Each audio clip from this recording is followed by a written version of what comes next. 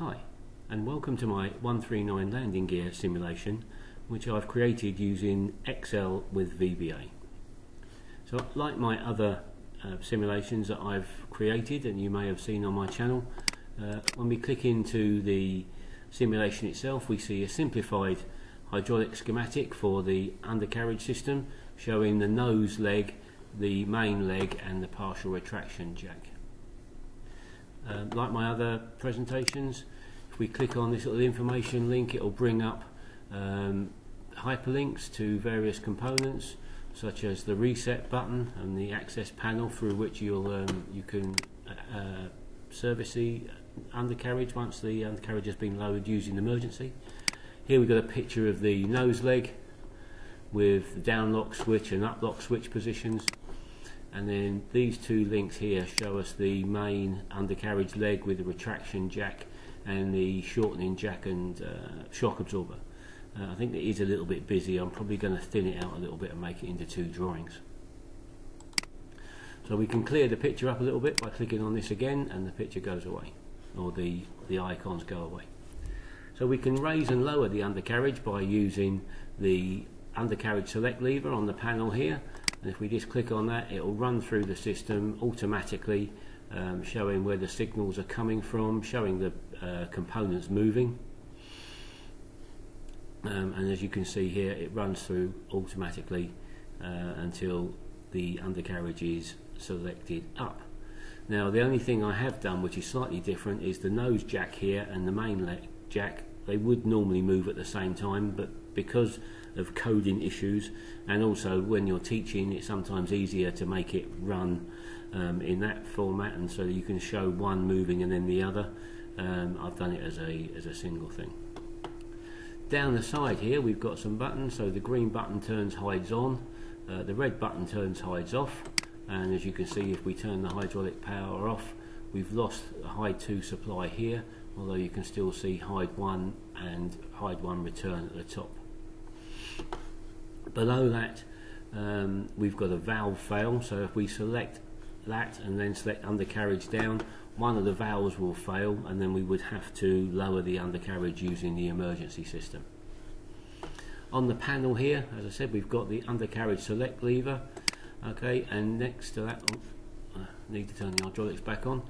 Uh, next to that we've got um, the emergency switch okay and you can see from the icons change to a finger there so we can actually press on that.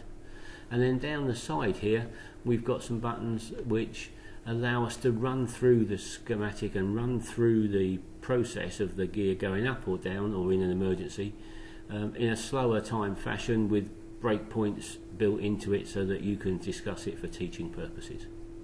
And then at the very bottom here we've got a um, help button which just takes us to this page which just tells us what some of the things do and what you can access by clicking on various buttons. Okay, so I, have inadvertently run through up and down on the undercarriage. Okay, so I'll uh, what I'll do now is just show you the up slow process.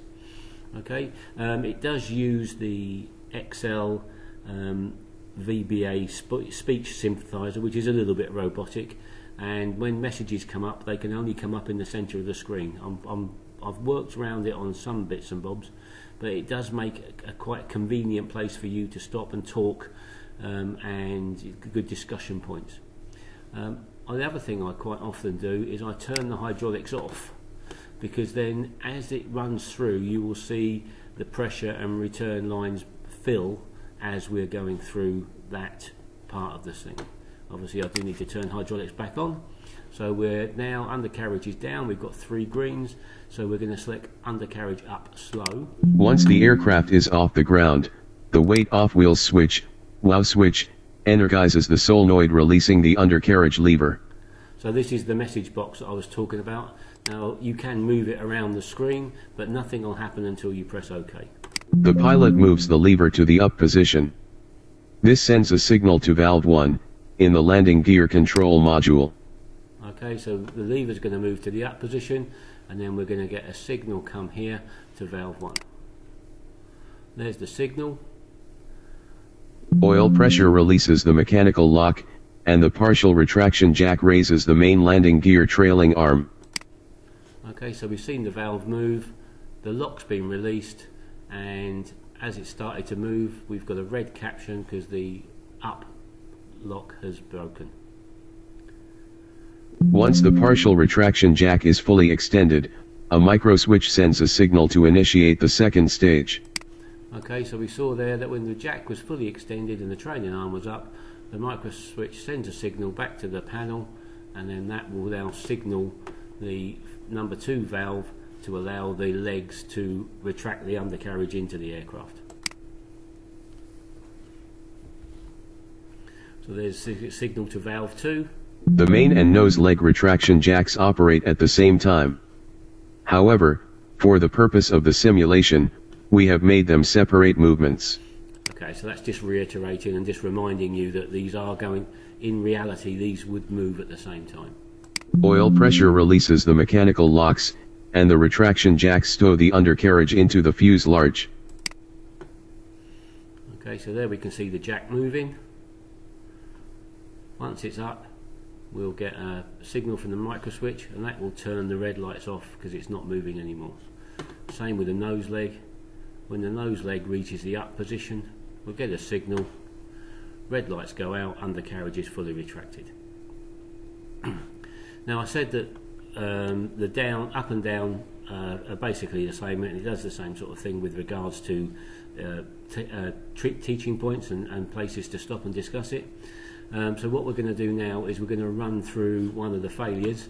Uh, we'll do the valve 2 failure. Okay, so if we click on that. The pilot selects undercarriage down by moving the lever to the down position.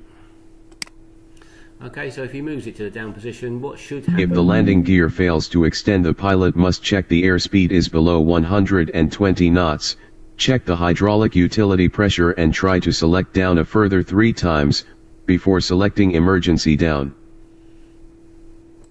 Okay, so we signalled valve 2, nothing happened. Okay, the undercarriage hasn't come down. The pilot will carry out some checks and try and select it down a couple of more times.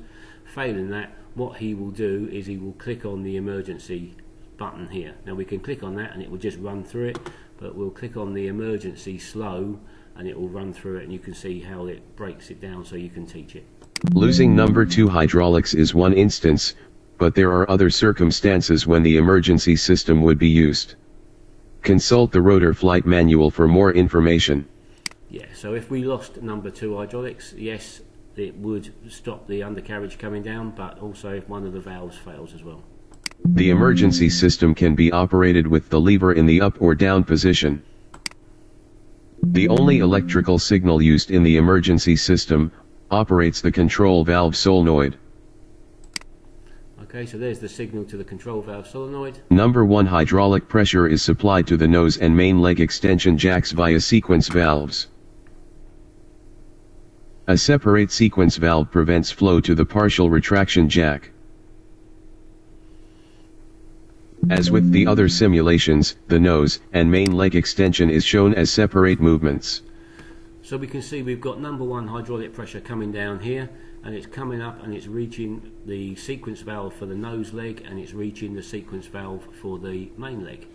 This sequence valve up here is preventing hydraulic pressure coming down this line and acting on the partial retraction jack uh, sequence valve because we want that to move after the leg has been extended out of the undercarriage bay.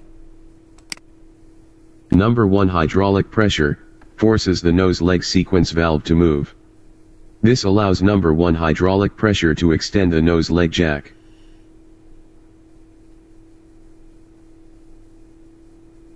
Once extended the micro switch will signal the control panel when the leg is locked.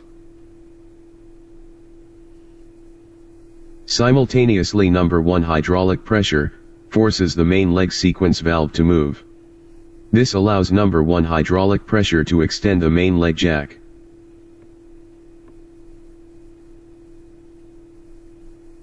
Once the main leg is extended, number 1 hydraulic pressure will increase on the stage 2 sequence valve. With number 1 hydraulic pressure flowing through the stage 2 sequence valve, it will act on the partial retraction jack valve. Number 1 hydraulic pressure flows through the valve, retracting the jack and lowering the trailing arm.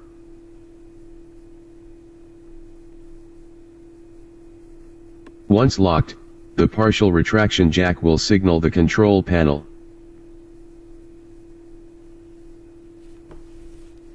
Okay, so there's the undercarriage lowered using the emergency system. Here's the secondary, uh, secondary second stage sequence valve, and you can see now pressure's going through that, and it allows it to act on the partial retraction jack sequence valve, retracting that and lowering the trailing arm. Okay, so the last thing to do is that you can't operate the undercarriage, yeah, because we haven't reset the system. It's a manual thing, so the pilot can't do that. So what we need to do is click on the button here okay that resets the valve and we would obviously hopefully have hydraulic 2 back and we're back for another retraction when the pilot takes off again okay I hope you enjoyed that it's one of the a series of um, videos that I've created using my simulations I've designed for teaching in 139 um, please check out the rest of them on my channel and subscribe if you think that they're, they're worthwhile. Thanks again for watching. Goodbye